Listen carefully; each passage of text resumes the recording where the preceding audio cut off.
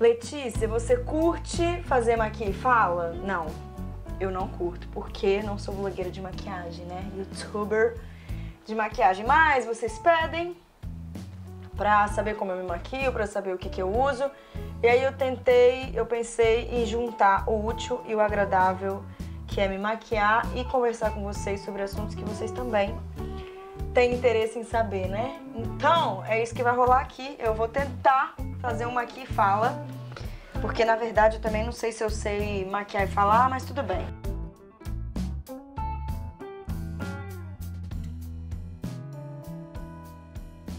Recentemente, recentemente, eu vou começar esse vídeo sim, tá?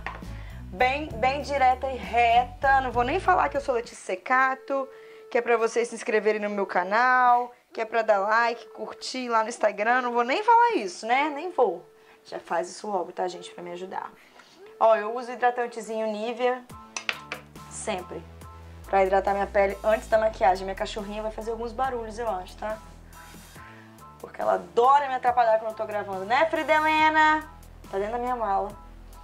Bom, vamos lá. Hidrato a pele com Nivea. Depois passo pra Frida. Não vai começar a raspar essas unhas aí, não. Depois eu passo o primer da Quem Disse Berenice, que é o melhor que eu já tive nesse mundinho. Vamos falar de problemas. Que problemas são esses? Críticas. Eu recebo muitas críticas, cara. E isso é o que? O preço da fama? Eu acho que sim, porque eu sou uma formadora de opinião, isso significa que pessoas não não vão concordar comigo, tá? E aí, como todo mundo é muito doido nesse mundo, ninguém, tipo, as pessoas não são tão normais, tem gente que pensa de forma completamente retardada e a gente tem que respeitar.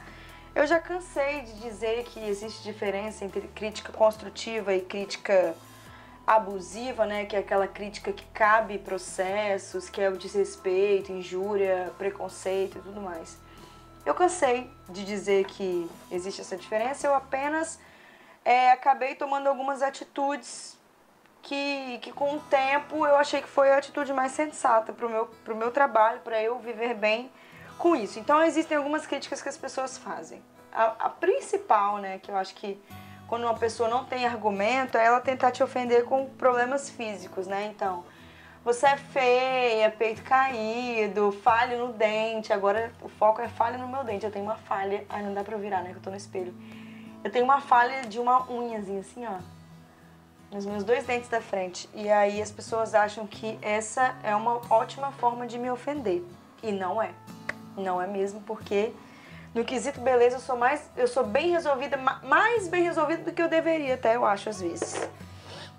É, corretivo, eu passo esse daqui da Mary Kay, que é o que é o pêssego, e também passo da Tracta em cima, vocês vão acompanhar aí, ó. Bom, e aí esse tipo de crítica, gente, no início eu pensava em responder. Hoje em dia eu apenas é, como eu falo a palavra, como que eu conjugo? Eu bano, bano de banir, do verbo, verbo banir, entendeu? Eu vou banir a pessoa do meu canal. Então se tem um, né, ah, eu só falho no dente é ridícula, vai consertar esses dentes. Eu vou lá ocultar o usuário. Essa pessoa nunca mais vai poder fazer uma crítica. A não ser que ela crie um outro perfil e aí eu vou banir ela do meu canal de novo. E é isso que eu faço hoje em dia. Não me, me, me machuca, em hipótese alguma não me machuca mesmo, juro, não tenho problema nenhum com isso.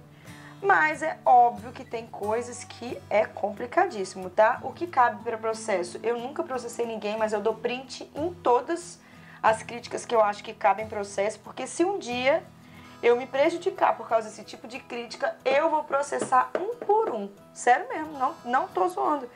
Tem comentário, gente, que sinceramente dá processo assim, certo, entendeu?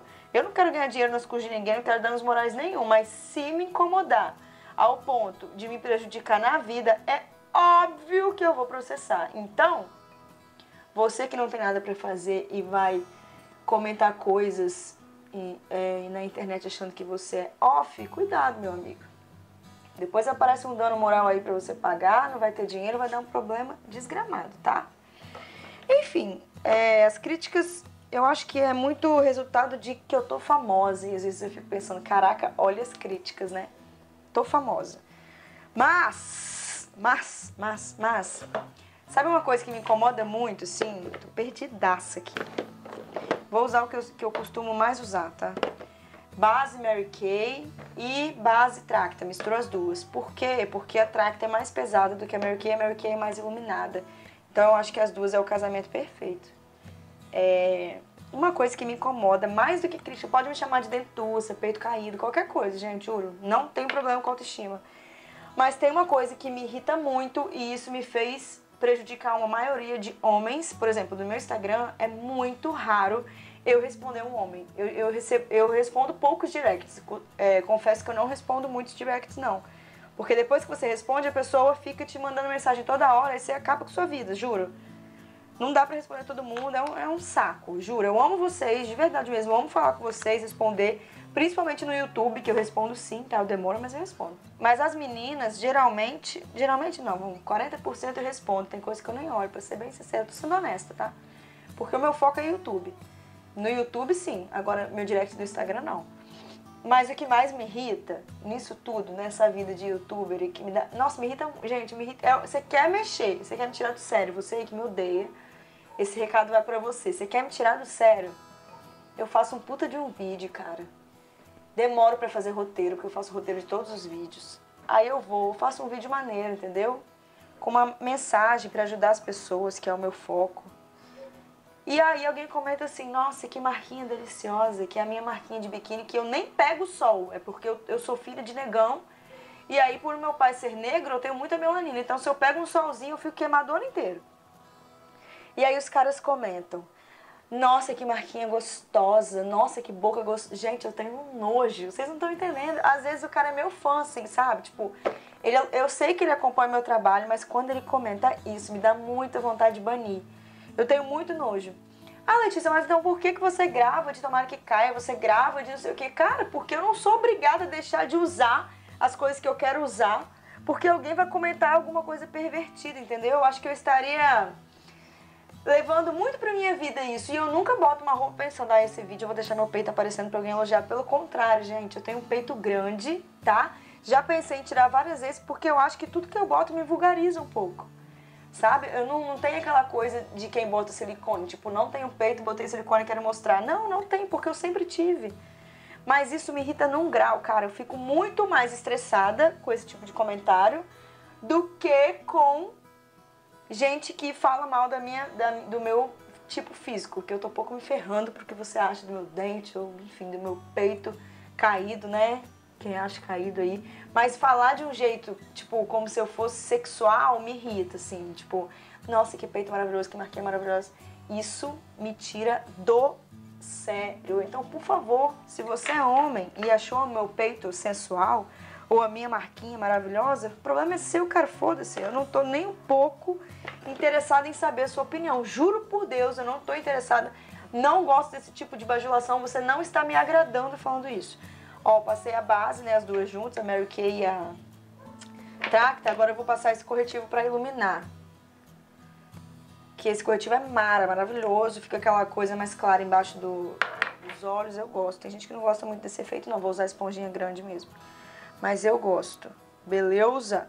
Aí, beleza. Por conta desse, desse tipo de comentário, é, eu decidi parar de responder homens no meu Instagram, porque no Instagram não tem pra onde correr. Uma vez que eu respondo, a pessoa pode me responder toda hora, entendeu? E aí é, é complicado, complicado. Porque o que que acontece? Às vezes o cara manda uma parada maneira, tipo, nossa, Letícia, adoro o seu trabalho e tudo mais. Beleza, obrigada, querido. Espero que você continue me acompanhando. Aí na próxima vez ele já manda. E como é que eu faço para te namorar? E como que eu faço para te conhecer, gente?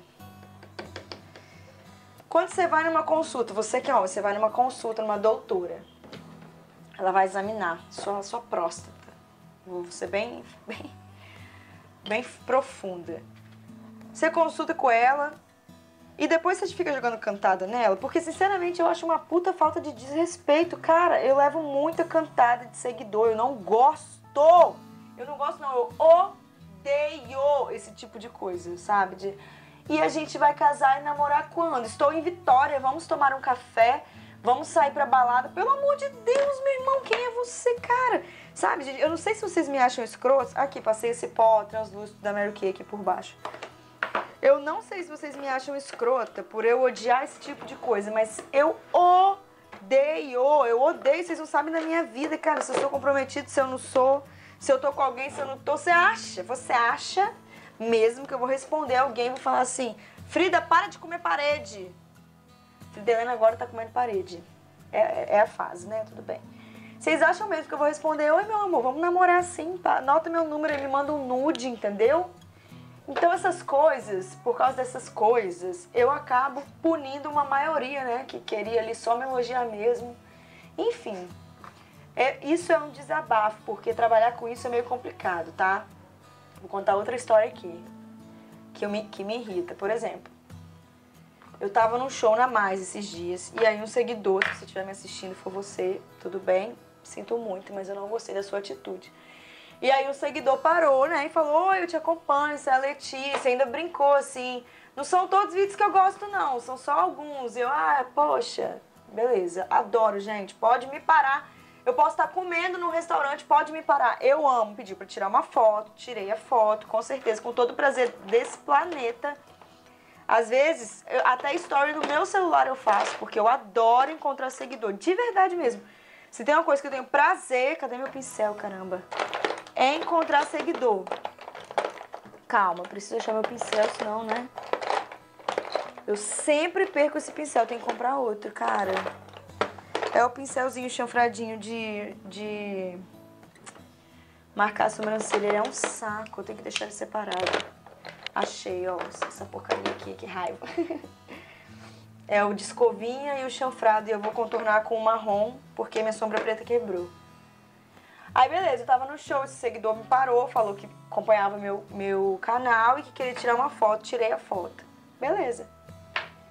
Tirei a foto e aí ele ficou lá do meu lado ficou lá do meu lado, não puxou assunto nem nada. Às vezes eu encontro muitas meninas que trocam ideia, a gente dança, eu adoro. Mas chega um limite, tem um limite, assim, um limite do desconhecido, porque, querendo ou não, seguidores são pessoas que eu não conheço, entendeu? E aí, beleza, o cara percebeu que ele estava sendo um pouco inconveniente, porque eu estava com as minhas amigas, ele se afastou. Mas ele se afastou, ficou do meu lado assim, ó. Tipo, me seduzindo, olhando pra mim o tempo todo. Cara, isso é muito ruim, porque dá medo. Sério, dá medo, porque eu não, não, mulheres nunca fizeram isso comigo, entendeu? Só seguidor homem que faz isso comigo, de ficar encarando. Eu não, não sei qual é o objetivo. A minha vontade de ir lá e falar que. Nossa, contornei tudo errado, não dá pra falar maquiar. A minha vontade de ir lá e falar: olha só, você tá me incomodando um pouco, tá? Para de ficar me encarando. Eu não gosto disso, gente. Parece estrelismo, né? Eu reclamar. Mas não é, cara, é porque também eu não sou obrigada a passar por esse tipo de coisa porque eu escolhi isso como profissão, entendeu? Então, assim, se você tem é apaixonado, você é muito fã de alguém, eu tenho certeza que esse famoso que você quer, que você é apaixonado, ele vai amar te conhecer, ele vai amar tirar foto com você, sabe? Mas tudo tem um limite. Juro por tudo que é mais sagrado. Eu não tô sendo escrota, eu espero que vocês me entendam de verdade.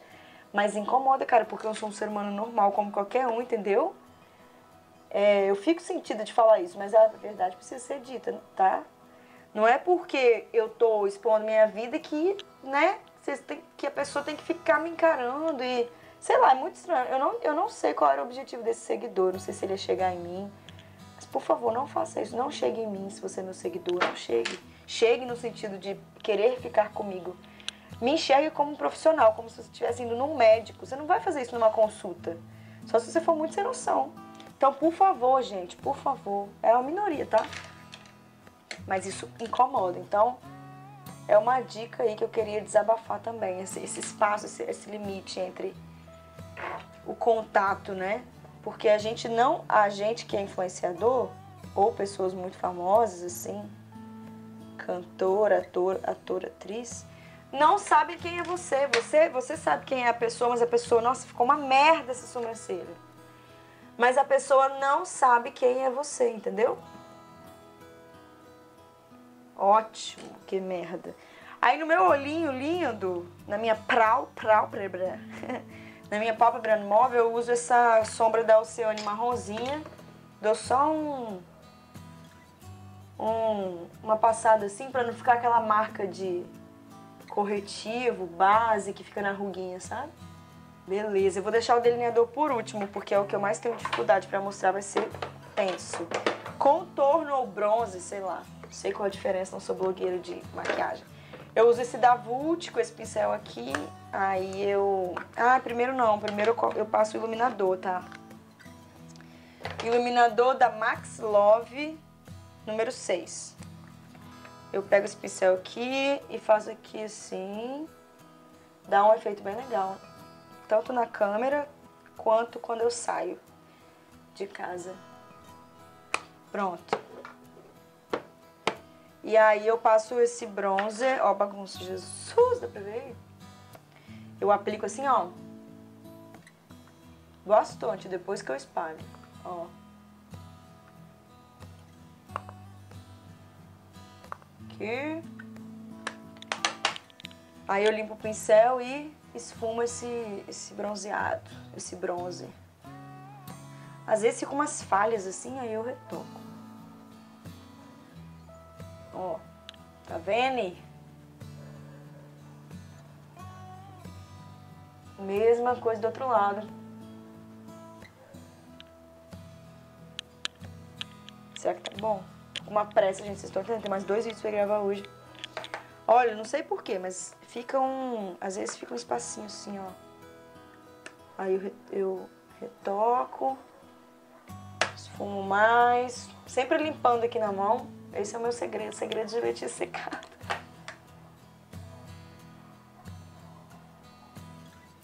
Tá. Aí, pra concluir o que eu queria falar. Pra concluir, não. Voltando no assunto de crítica, que é o assunto principal do, do vídeo. Ó, gente, eu passei na testa, passo um pouquinho aqui, ó. Eu passo com o pincel menor, mas é que eu tô com muita pressa. Tá de noite já. Aí, show de boela! Se você tem um amigo ou uma amiga que fica falando, te criticando o tempo inteiro, te chamando de gordo ou coisas do tipo, saiba que essa pessoa não quer o seu bem. Então você não precisa dessa pessoa na sua vida. Às vezes, tava conversando, ó, é, blush da MAC, já perdeu o nome de tão velho. Esse pincel aqui que eu ganhei da Duda, dona do meu fã-clube. Foi dela que eu ganhei esse? Acho que foi. Enfim, se você tem amigos que, que fazem esse tipo de crítica, eles não são seus amigos, tá? Sabe por quê?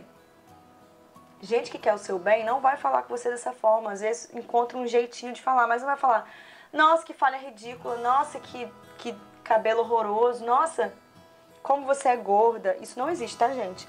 E aí, esses dias, eu tava conversando com o Elielson, meu amigo, e eu tava falando pra ele, Elielson, pessoas desse tipo, eu não faço questão na minha vida, não, eu, não, eu prefiro ter 240 mil seguidores que sabem falar de uma forma construtiva, que querem o meu bem, do que um milhão. Imagina vocês acordarem todo dia e ter alguém te chamando de vagabunda, patricinha, é, dissimulada, é, horrorosa. É isso que eu vivo, entendeu? Então não é fácil não, Brasil. Na verdade é fácil sim, né? Difícil seria se eu tivesse capinando o quintal no sol quente. Mas eu acho assim que não é porque eu... Nossa, o meu amigo mandando mensagem. Não é porque eu trabalho com isso que eu também tenho que aceitar tudo. Agora vem a pior parte da maquiagem. Já tô acabando, tá, gente? Que é o delineador. Eu uso essa esponjinha pra puxar meu olho assim, ó. E aí eu já faço um risco meio doido. É, o delineador é da Vult. Às vezes dá certo, às vezes dá errado. Eu gosto de botar o espelhinho aqui também. Pra ajudar. Porque confesso que não é o meu forte, não. Show de bola! Agora eu vou pro outro lado. Sempre um lado é mais difícil que o outro, né? Vamos ver qual... Nossa, que bagunça, meu Deus do céu. Rapaz, até que esse olho fez rápido, hein? Olha aqui, se vocês quiserem saber informações sobre a minha penteadeira, que aleatório. É, eu tenho um vídeo aqui, tour pela penteadeira, eu mostro tudo, tá? Gente, tô ficando cego porque tá refletindo na luz do, do spot. Aí, quando eu faço esse delineado cagado assim mesmo, eu dou uma puxadinha no final, quer ver? Às vezes dá certo, às vezes dá errado também. Mas na maioria das vezes dá certo, ó.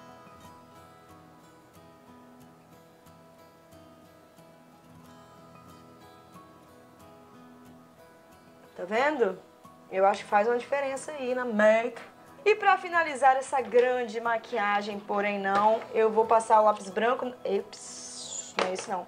Lápis branco na linha d'água, ó.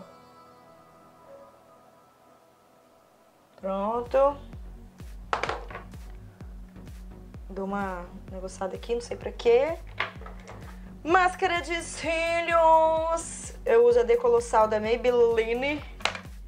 Bastante, tá? Pode chumbar. E é isso, Brasil. É... Não se abale pela opinião dos outros, sabe por quê? Às vezes, essas pessoas que falam de mim que são feias, eu olho a foto do perfil e fico assim, Jesus. Será que essas pessoas são loucas de achar que elas são bonitas, entendeu? Pra poder apontar a feiura do outro? Socorro.